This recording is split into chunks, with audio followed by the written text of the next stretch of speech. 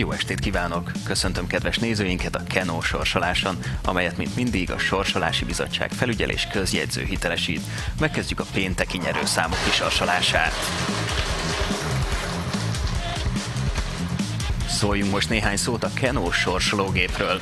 Körülbelül 280 kg a súlya, és több mint 2 méter magas. 2009 óta használjuk a Kenó napi sorsolásaihoz. A pénteki 20 nyerőszám pedig a következő.